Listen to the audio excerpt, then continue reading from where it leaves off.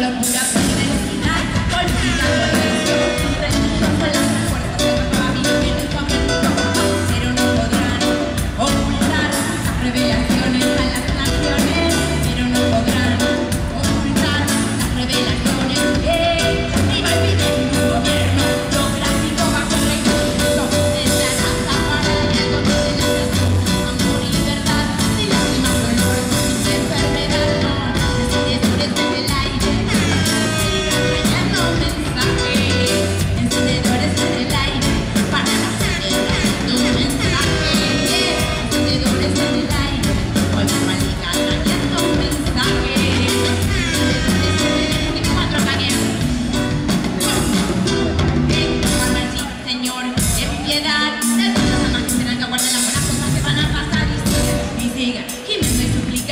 si este mayo del año más esperamos.